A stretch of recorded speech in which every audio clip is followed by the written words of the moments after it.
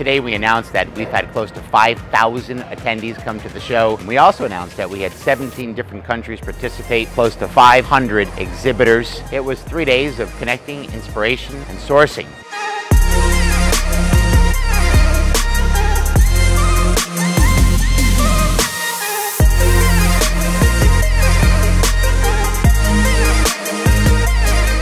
I like to come to the show every year because even though you can speak to a lot of manufacturers online, it's really nice to get to know your contacts in person, see see what the finishings look like, you know, the feel of the fabrics. Those are things that you just can't can't get conveyed digitally or on the phone or you know through Skype. So me and my team always make sure to come by every year, and uh, we usually find what we're looking for.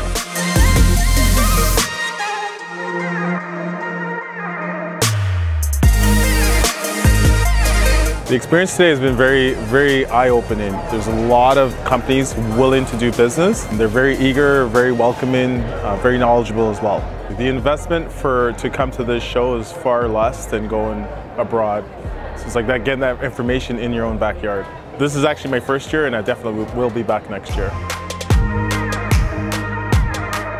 The reason why we want to come here to ATSC is to explore new marketplaces. Canada's a vast country with a lot of retailers and we feel that there's a good opportunity here.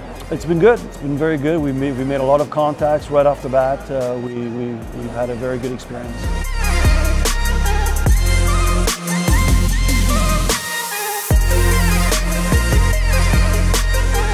I think it's great. Um, I've been here a couple of years before, and I think it's grown as a, as a trade show, and I'm seeing new categories like home, and I think it's growing really fast, and it's it's it's great.